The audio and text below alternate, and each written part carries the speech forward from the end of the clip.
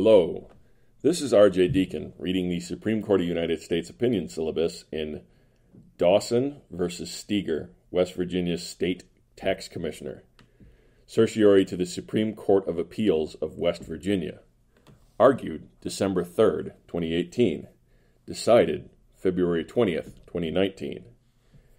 After petitioner James Dawson retired from the U.S. Marshals Service, his home state of West Virginia taxed his federal pension benefits as it does all former federal employees.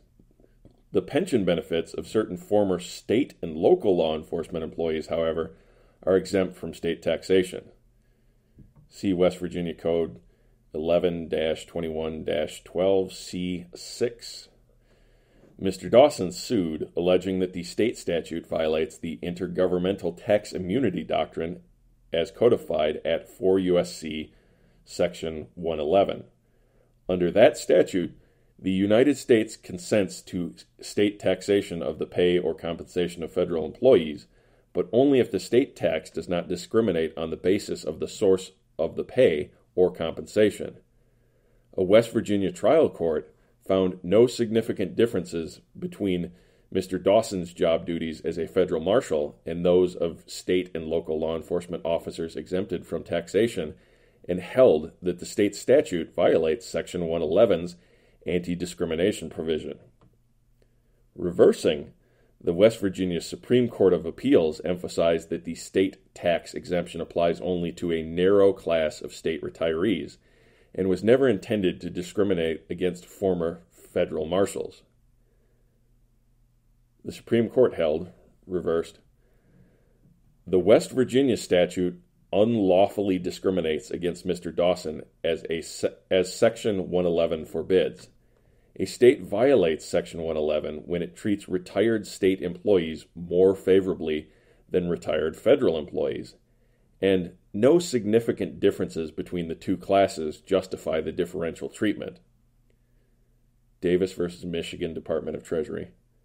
Here, West Virginia expressly affords state law enforcement retirees a tax benefit that federal retirees cannot receive, and there are no significant differences between Mr. Dawson's former job responsibilities and those of the tax exempt state law enforcement retirees.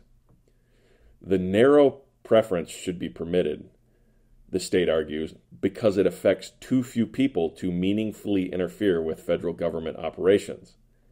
Section 111, however, disallows any state tax that discriminates against a federal officer or employee, not just those that seem especially cumbersome.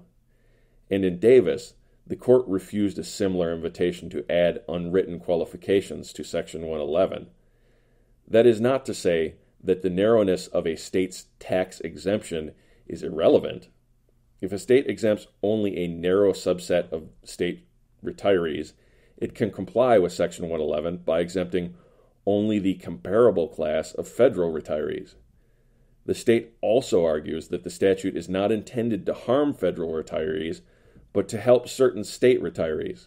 The state's interest in adopting the discriminatory tax, however, is simply irrelevant. Davis. For reasons other than job responsibilities, the state insists retired U.S. Marshals and tax exempt state law enforcement retirees are not similarly situated. But the state statute does not draw any such lines. It singles out for preferential treatment retirement plans associated with particular state law enforcement officers. The distinguishing characteristic of the retirement plans is the nature of the jobs previously held by retirees who may participate in them. The state trial court found no significant differences between Mr. Dawson's former job responsibilities as a U.S. Marshal and those of the state law enforcement retirees who qualify for the tax exemption. And the West Virginia Supreme Court of Appeals did not upset that finding. By submitting that Mr. Dawson's former job responsibilities are also similar to those of other state law enforcement retirees who did not qualify for tax exemption the state mistakes the nature of the inquiry. The relevant question under Section 111 is not whether federal retirees are similar, similarly situated to state retirees who do not receive a tax break. It is whether they are similarly situated to those who do. Finally, The state says the real distinction may not be based on job duties at all, but on the relative generosity of pension benefits. The statute, as enacted, however, does not classify persons or groups on that basis. And an implicit but lawful distinction cannot save an express and unlawful one. The decision is reversed and remanded. Justice Gorsuch delivered the opinion for a unanimous court. Thank you for listening. If you'd like to get a hold of the podcast, we can be reached at rhodesscholar80 at gmail.com. That's R O A D S and 80. Thank you.